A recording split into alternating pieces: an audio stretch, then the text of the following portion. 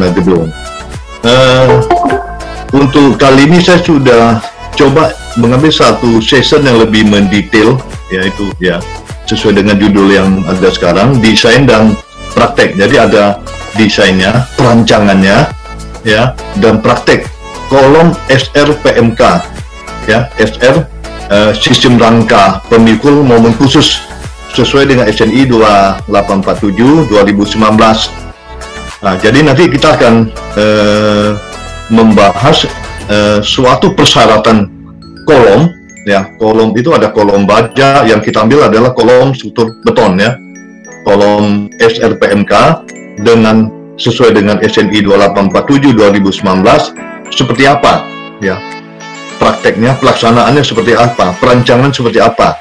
Nah, dan analisisnya ada contoh analisis dan analisisnya lebih eh, harusnya lebih mendetail dipelajari di mata kuliah struktur beton ya. eh, materinya ada enam ya ada enam materi. Eh, yang akan saya sampaikan pada hari ini saya kira lima materi itu belum tentu bisa semua ya tapi diusahakan semua. Lima materi sudah saya kumpulkan 39 slide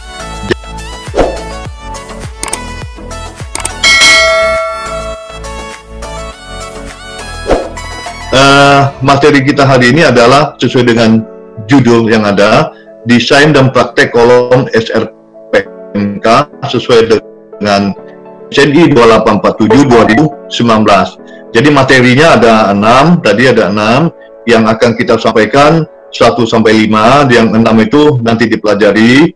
Eh, kelihatannya waktunya tidak cukup, sampai 5 aja saya sudah kumpulkan 39 slide. Nah, yang eh, materi pertama itu adalah persyaratan dimensi penambang kolom. Di samping ini ada gambar struktur kolom, ya, nampak eh, suatu struktur bangunan gedung. Jadi persyaratan dimensi uh, lebar dan panjang kolom yang sisi kecilnya tidak boleh uh, kecil dari 300 mili ada persyaratan SRPMK ya untuk kolom kemudian tulangan longitudinal ya tulangan memanjangnya ini nampak di sini ada detail tulangan tulang memanjang sambungan lewatan ini yang ada di tengah-tengah. Ya nanti kita akan lihat apa bedanya di tengah-tengah dengan yang di pangkal di di lantai. Ya kemudian tulangan eh, transfer transversal tulangan eh, atau tulangan bagel nah jadi materi yang kita ambil untuk hari ini eh, sistem struktur pemikul sistem rangka pemikul momen khusus yang kita uh, pelajari hari ini adalah sistem rangkanya. Di kuliah pertama saya pernah mem, uh, memberikan bahwa sistem struktur itu banyak sekali. Ada sistem shear wall, sistem dinding, sistem tabung, sistem core, uh, dan lain-lainnya. Jadi salah satunya adalah sistem rangka pemikul momen. Ya, sistem rangka pemikul momen ini karena ini yang paling luas, paling banyak digunakan. Secara umum ini paling luas sekali Nah, jadi yang karena nanti kita eh, sehari-hari akan selalu berhadapan dengan sistem rangka. Jadi sistem rangka ini pun masih ada tiga sistem rangka. Ini pemikul momen khusus S, SR PMK. Nanti ada SR PMB pemikul momen biasa dan pemikul momen menengah. Ya, jadi ada tiga. uh, standar yang kita gunakan itu jelas standar 2847 2019. Nah, 2847 2019 ini adalah SNI revisi dari 2847 2013 ya. Uh, untuk SRPMK kolom pada umumnya masih sama dengan 2847 2013. Ada beberapa item yang berbeda. Nanti kita uh, akan uh, berikan uh, item mana yang berbeda. Jadi pada umumnya masih sama dengan uh, isi daripada 2019 masih sama dengan 2013. Kemudian ini ada perancangan uh, bangunan tahan gempa 2019 ya. Itu juga referensi untuk hari ini. Kemudian nanti saya saya sarankan kepada mahasiswa uh, tonton video video ini Agustiawan di sini ya. Di ditonton videonya cari di YouTube itu ada. Itu sebahagian saya ambil dari dari YouTube-nya ya. kemudian uh, ini ada tiga buku yang saya ambil. Buku pertama itu desain bangunan tahan gempa yang sebelah ini sebelah kiri atas ini yang ini itu ya, uh, ya penulisnya Bambang Budiona ya dan kawan-kawan penerbitnya ITB Press. Kemudian yang kedua ini eh, ACI code ya berdasarkan ACI code 318M yang ini yang sebelah kanan. Yang di tengah yang di tengah ini adalah buku Agustiawan yang di tengah ini jadi ini uh, isinya uh, hampir sama dengan videonya, walaupun tidak sama ya, hampir sama dengan videonya. Nah, terus tentu timbul pertanyaan, SRPMK itu apa ya? Nah, di sini sistem rangka pemikul momen khusus definisinya adalah suatu sistem struktur yang didesain dan diberi detailing. Jadi detailing detailing sini ya. Eh, detailing tulangnya seperti apa? Ya jadi ini yang harus diperhatikan detailing ada persyaratan-persyaratan. Ini detailing yang cukup guna menahan beban gempa bumi. Nah, jadi guna men, saya ulangi menahan gempa menahan beban gempa bumi. SRPMK digunakan pada daerah yang termasuk ke dalam kategori desain seismik DE dan F. Ya, DE dan F Uh, desain seismik kategori ini di, uh, disusun berdasarkan ini kenapa D, E dan F berdasarkan uh, bentuk struktur. Bentuk struktur berbeda dengan bentuk bangunan. Bentuk struktur kemudian daerah rawan gempanya maka itu dibagi menjadi uh, ada A, B, C, D, E, D, E dan F. Jadi untuk SRPMK itu di kategori desain seismik D, E dan F. Nah, supaya mahasiswa bisa memahami apa yang dimaksud dengan kategori desain seismik, maka eh, saya akan memberikan beberapa PR seperti biasanya. PR itu dikumpul eh, dalam waktu satu minggu ya, seperti biasanya. Ini eh, di mana PR pertama ya eh, kita berharap materi kuliah kita hari ini adalah memahami persyaratan SRPMK sesuai dengan SNI 2847 2019. Di mana per satu apa beda SRPMK dengan SRPMB ini eh, pemiku momen biasa, kemudian SRPMM momen menengah ya. Dan yang kedua, apa yang dimaksud dengan kategori desain seismik DE dan F? Menurut SNI 1726 2019. Ini supaya bisa memahami, maka itu uh, ini harus dikerjakan oleh mahasiswa, ya, dikumpul dalam waktu satu minggu. Nah, mungkin uraian saya ini juga secara tidak langsung PR yang tadi yang saya uh, berikan itu, itu akan uh, sebagian terjawab ini. Nah, kita lihat sini, ya sistem rangka ini banyak sekali. Jadi kalau nanti di eh, dibuka di SNI 17 2019 ya, di tabel 12 ya, di tabel 12 ya. Di sini ada eh, yang saya tampilkan baru 10 ya, ditampilkan 10. Yang saya blok ini yang di blok adalah rangka beton struktur pemikul pemikul momen khusus jadi SRPMK yang rangka beton. Jadi SRPMK ada yang rangka baja dan ada yang rangka beton. Ya, yang ini yang baja. Yang nomor satu rangka baja pemikul momen khusus. E, nomor dua rangka baja juga pemikul momen e, khusus ya. Ini ya rangka baja, rangka batang baja. Kemudian nih e, rangka baja pemikul momen menengah dan momen biasa yang beton juga ini yang momen khusus, kemudian momen menengah dan momen eh, biasa. Apa sih bedanya ini? Ya, bedanya apa? Kita eh, di samping faktor perencanaan gempa, nanti faktornya juga beda-beda ya. Ada faktornya, omeganya, ya, faktor CD-nya juga ada, nanti berbeda-beda ya. Kemudian di di sini kita kita lihat sini ya. Untuk SRPMK beton ini kategori desain sismiknya ini D, E dan F. Untuk D, E dan F ini sudah saya blok di sini. Ada tanda TB. TB artinya tidak ter, tidak eh, dibatasi. Tidak dibatasi. Jadi tidak dibatasi, tidak dibatasi, tidak dibatasi. Contoh yang dibatasi kalau seandainya kita eh, memakai momen menengah. Momen menengah tidak diizinkan untuk kategori desain sismik yang D, E, dan F. Karena di sini TI tidak diizinkan. Jadi kalau uh, untuk mendesain uh, untuk E, dan F tidak diizinkan mendesain SR PMM ya PMM nih menengah. Nah, apalagi momen biasa tidak diizinkan. Nah, yang kalau kita lihat di atas ini masih diizinkan untuk momen khusus, tapi untuk batang batang momen khusus diizinkan yang D sampai 48 lantai ya, yang E 30 lantai, yang F tidak diizinkan. Nah, nah ini salah satu ya eh, jawaban dari PR tadi. Ini salah satunya. Ya, kemudian nanti di sini ada kode ini kode-kode katakanlah yang ini yang untuk baja ada yang 10 ada K-nya 10 lantai ada K K di sini maksudnya boleh tambahan satu tingkat untuk fasilitas gudang di atas 10 lantai jadi eh, untuk mahasiswa perancangan bangunan gedung eh, wajib ya, wajib eh, memahami apa yang dimaksud dengan tabel 12 ini. Ya.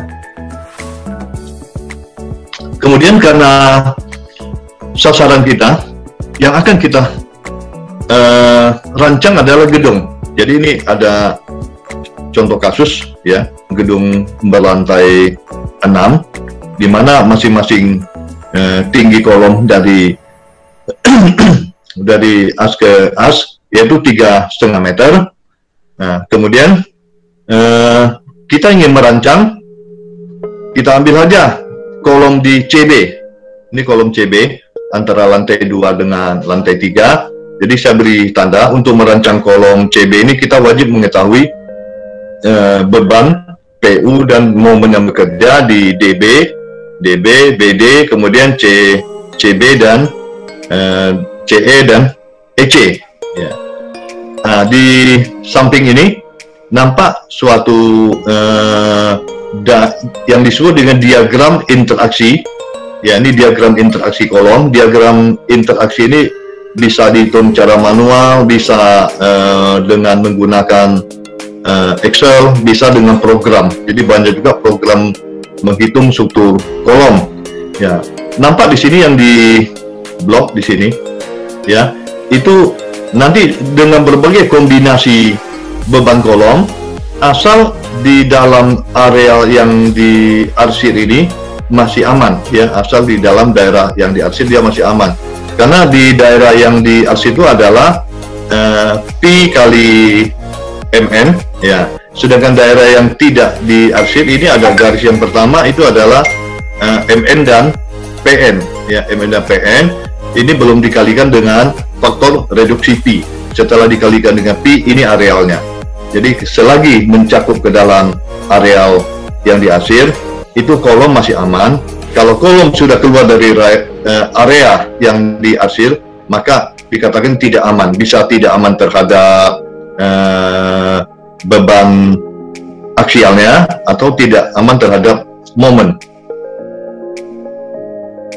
Nah, contoh soal yang tadi, ya, contoh soal tadi, eh, diminta lakukan analisis kolom DC. Kolom DC ini dianalisis, di mana dimensi kolom ini 600 kali 600 mili, tulangannya 12 diameter 25. Ini dimensi kolomnya. Eh, ini diminta ya. Eh, portal gedung bagian dari SR PMK. Jadi dicek apakah memenuhi persyaratan eh, SNI 2019 ya dengan SR PMK. Kemudian ini eh, kolomnya, baloknya seperti ini. Jadi balok di sini, kalau kita lihat di sini ini ada eh, balok B ke A ini, ini balok baloknya uh, ber, berukuran 450 mili kali 650 mili ya. Kemudian uh, dengan tulangan di tumpuan itu 7 diameter 25 uh, di bagian atas tulangan negatifnya kemudian tulang positifnya 4 diameter 25 dan ini hasil kombinasi beban ini ada beban mati yang di sini beban hidup dan beban gempa. Kemudian kombinasi pembebanan kalau ini bebannya ini dikombinasi ini ada tanda merah. Ya di sini ada tanda merah. Jadi tanda merah ini adalah kombinasi maksimum eh, beban aksial. Kita lihat sini ada 1,4 D 1,2,2 D 1,6 L 1,2 D plus 1 E plus 0,5 L eh, kemudian yang kombinasi keempat 0,9 D plus 1,0 E dan yang menentukan adalah yang merah di sini yang paling maksimum paling maksimum adalah 1,2 D plus 1,6 L. Kemudian yang ini untuk kolom BD, yang kolom BD, yang ini kolom BC, eh, maksimumnya 4076 kN. Kemudian kolom CE, maksimumnya adalah 4424 eh, kN.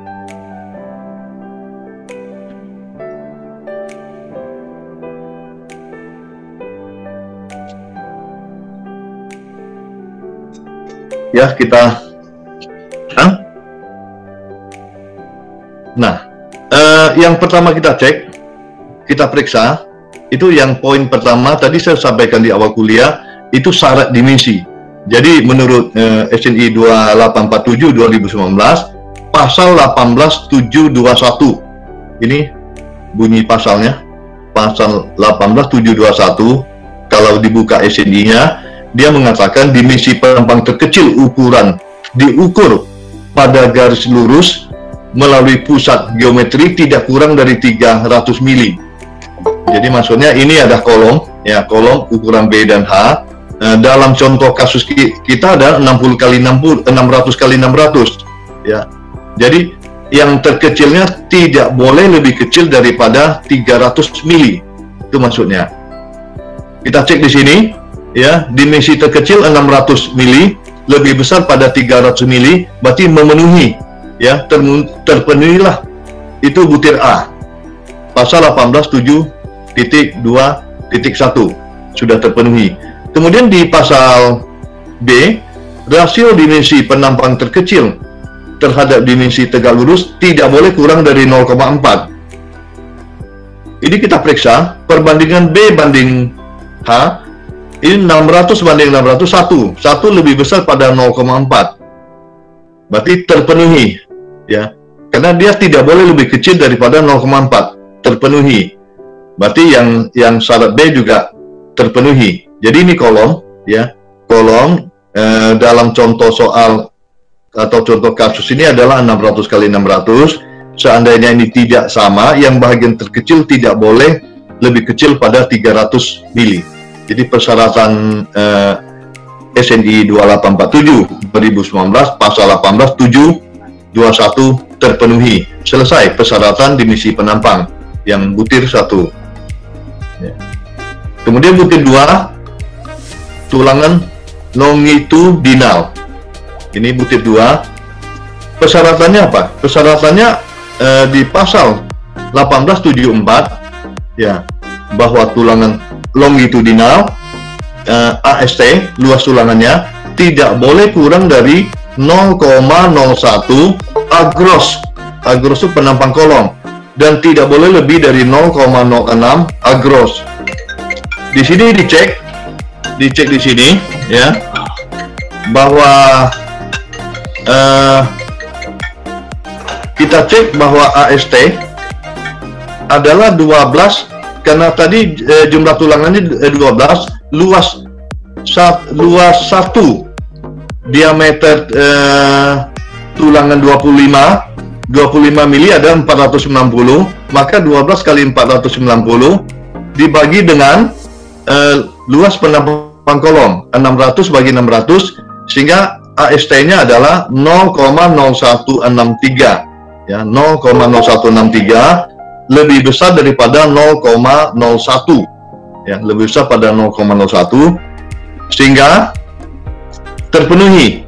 Jadi yang pasal 18741 karena lebih besar pada 0,01 terpenuhi karena lebih kecil ya daripada 0,06 terpenuhi juga. Ya. jadi persyaratannya 18741 dan 18742 terpenuhi. Ini contoh misalkan ya. Eh, kolom ruko 200 kali 400 ya. Ya maka itu eh, kita lihat yang pertama bahwa ruko dengan penampang kolom 250 lebih kecil pada 300 mili ini tidak terpenuhi. Jadi pada umumnya kalau kita melihat di Pekanbaru ukuran atau dimensi ruko adalah 200 pada umumnya 200 kali 400. Jadi dikatakan e, mengenai persyaratan yang pertama ini ha, e, boleh dikatakan hampir seluruh bangunan ruko yang ada di Pekanbaru tidak memenuhi persyaratan SRPMK ya boleh dikatakan tidak memenuhi. Nah, kemudian kalau luas tulangannya kita gunakan 8 diameter 13, kita cek ya. Luas satu tulangan adalah 132,665 mm persegi. Nah, 8 kali eh, 132,665 dibagi 250 dibagi 400 adalah 0,0106. Ini masih memenuhi mengenai luas tulangan 0,01 seandainya menggunakan 8 diameter 13 papasan ya 0,0106 persyaratan dia tidak boleh kecil daripada 0,01 atau dikatakan tidak boleh lebih kecil dari satu persen. Jadi batas tulangan 1 sampai 6 persen. Ini adalah 1,06 persen maka itu terpenuhi. Jadi yang dua terpenuhi yang pertama tidak terpenuhi. Ini contoh ya Eh, kalau seandainya diminta untuk memeriksa apakah memenuhi persyaratan ya pasal 18742 dan pasal 18741 dan 42 eh, yang 42 itu kolom-kolom dengan sengkang bundar jumlah batang tulangan longitudinal minimum harus 6 batang. Jadi kolom bulat tidak ada kolom bulat kalau seandainya tulangannya eh, tulangan longitudinal longitudinal atau dikatakan tulang pokok hanya lima itu tidak memenuhi syarat. Jadi minimum ada enam batang baru